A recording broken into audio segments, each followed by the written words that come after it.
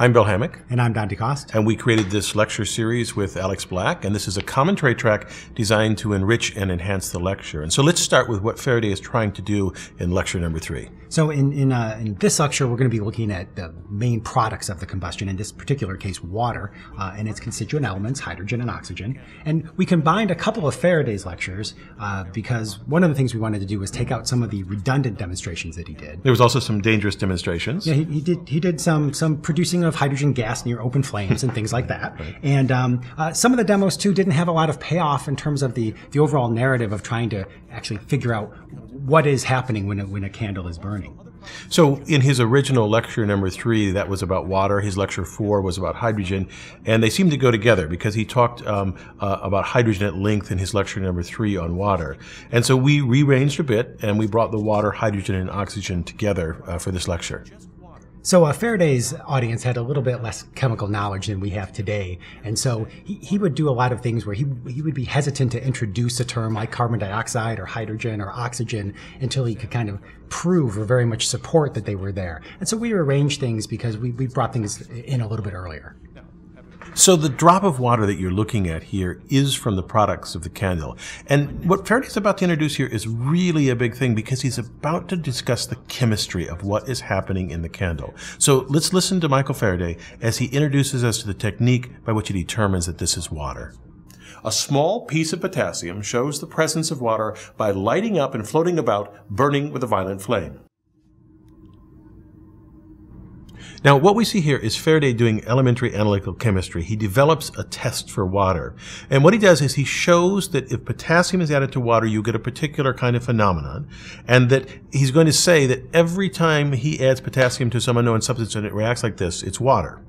And of course, this isn't logically rigorous in the sense that it's not sufficient. Just because something reacts with potassium similarly to the way water does, doesn't necessarily mean that that substance is water. You, you might need to do more tests, but I think Faraday would really think that this is a victory because what he what he has now is he has you asking questions about this. And remember that in the first lecture, he said that we're here to be scientists, and one thing about being a scientist is that you're going to ask these questions. And, and we can see this throughout all of the lectures. This is this is one of the the big themes of all of the lectures, and that is every scientific answer can be potentially refined. So now let's listen to Michael Faraday as he introduces the next big idea from this lecture. Water is one individual thing. It never changes. We can add to it by careful adjustment for a little while, or we can take it apart and get other things from it. But water as water remains always the same, either in a solid, liquid, or fluid state. So the big idea that Michael Faraday just introduced with his phrase water is water is the idea of a physical change as contrasted to a chemical change. And in this lecture, he's going to give us several very dramatic examples of the, what water can do when it just changes uh, uh, form. It can crush vessels, it can explode, and we might think of this change being like a chemical change, like like uh, TNT or something. But really, it's just a physical change. And it's kind of interesting because this is one of the first topics taught uh, to high school chemistry students. This idea of physical versus chemistry, uh, and and if you know you do this with high school students, you find out it's surprisingly difficult to understand, or at least it seems surprisingly difficult. Um, but this is what Faraday is good at: understanding what students have trouble with. And if we give it a little bit of thought, uh, we can see why it's such a difficult co- uh, topic. And so now let's listen to Michael Faraday's words that highlight just how difficult this concept is. And although it changes in condition and form and in many other qualities, it still is water. So put yourself in the mindset of a first time uh, chemistry student. Uh, Faraday has just said that it changes in condition and form and many other qualities, but it's still water. You know, and what, what does this mean? Yeah, how can something change so much and still be water? And, and, of course, we, we know the answer now is that water is water because water, uh, liquid water, and ice and steam all consist of water molecules. That if water is going to be water, it consists of two hydrogen atoms bonded to one oxygen atom. And if we change that, then we're actually changing the water. So one way that we introduce or differentiate a physical change from a chemical change is we often say physical change is something reversible as opposed to a chemical change, uh, which is irreversible. Now this needs to be nuanced greatly, but it's a way to approach, at least at first, physical versus chemical changes. And this is a, another kind of big theme in science, right? We, we, we have black and white categories when we first introduce them, like physical versus chemical change, or like solid versus liquid versus gas, or like polar bond versus nonpolar bond. We know that there are gray areas with all of these, but we introduce them as black or white. Now, what's coming up is a very famous demonstration. Uh, uh, chemistry teachers still do this today. They fill a, a, soda can or pop can with steam and then just turn it upside down in an ice bath. And, and one thing uh, Bill and I noticed in, in reading these these uh, uh, lectures again and try to think about how to film them is just how many of Faraday's demonstrations are, are still done today. And I, I don't think it's an exaggeration at, at, all to say that he's kind of the godfather of the chemistry demonstrations uh, because, again, most of those are, are still used. So let's listen again to Michael Faraday, um, just because th this little segment is coming up highlights why we kept his language. It's it's lyrical, almost poetic and so the vessel is obliged to give way and is crushed inwards.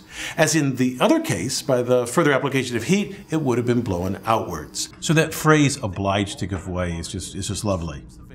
But we weren't always slavish uh, about, you know, retaining everything that was in the lectures. I mean, you can see here that we um, used animations, which of course Faraday would not have had. So here, of course, is another classic Faraday demonstration. Uh, really shows his great showmanship. It's very dramatic. Uh, it, and while it's a classic demonstration, we don't often see it because it's so dangerous, but uh, everyone's really aware of the phenomena of what's going to happen. Yeah, I think everybody knows that these things are gonna are gonna burst apart. Now, when Faraday uh, did this, he actually used ice and water, and we tried that at first and found that it took 30 minutes for it to happen. So we changed to dry ice and acetone, which is I think minus 78 degrees, and make it, it happen very quickly, as you'll as you'll see here. And this is also coming up here another great example of why we kept Michael Faraday's language. No communication will take place, you observe, between the water in the bottle and the ice in the outer bowl, but there will be a conveyance of heat from one to the other. Now, I want you to look very carefully at the enclosure that I have here that was made in our machine shop.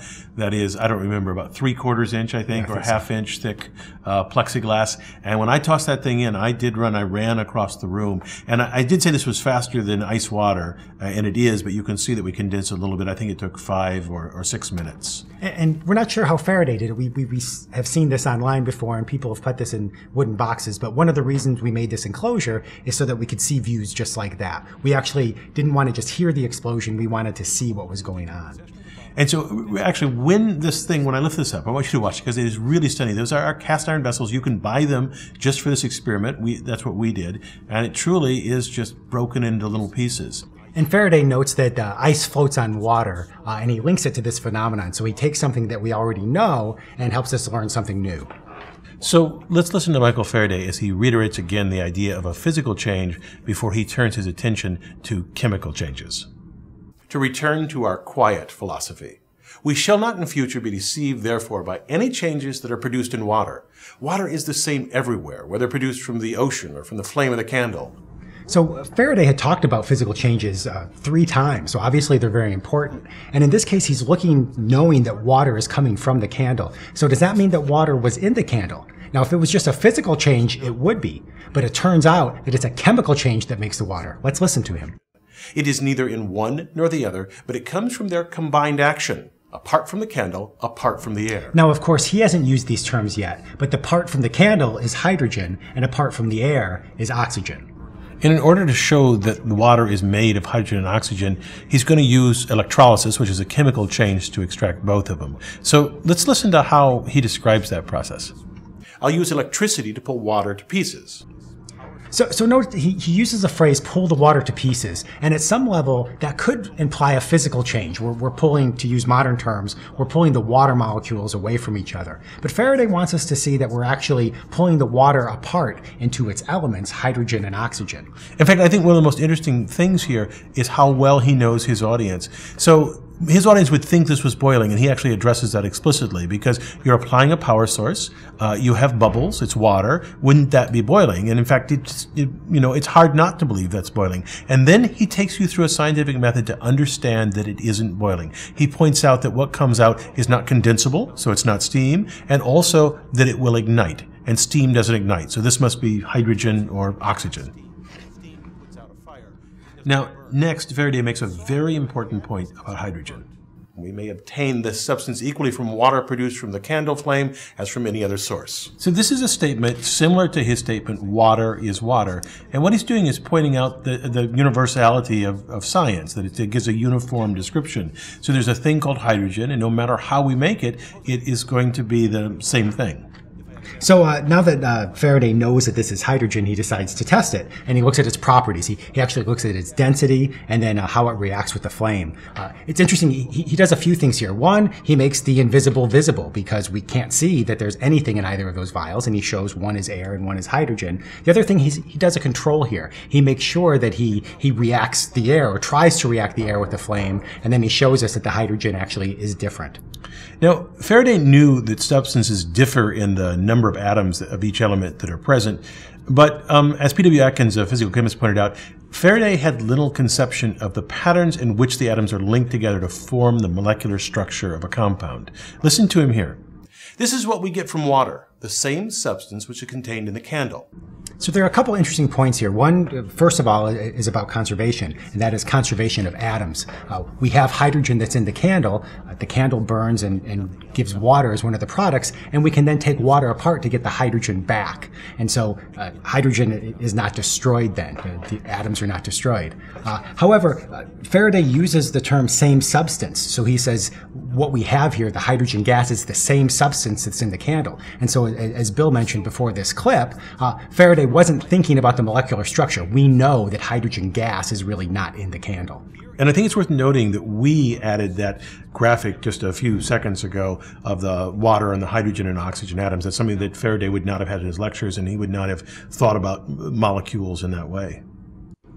Now, as we mentioned, uh, Faraday has already talked about density. Once, once he figured out that this was hydrogen, he looked at the properties, and one of these were density. Um, but he goes back to this, and, and, and he does this uh, for a couple of reasons. One, of course, as we mentioned before, he's, he's a good showman, and so he, you know, it's very visual for him to blow bubbles, uh, something very familiar to everyone. But then when he blows the bubbles with hydrogen, we see them float up in a very dramatic fashion. But he also talks about then the utility of hydrogen. So the fact that it's less dense than air allows it to be used, for example, in hydrogen hydrogen balloons, which were, were used at that time. Uh, now, this is something that Faraday has done a lot, though. He finds a substance, he gets a good amount of that substance, uh, and then he plays with it and tests it and shows us its properties.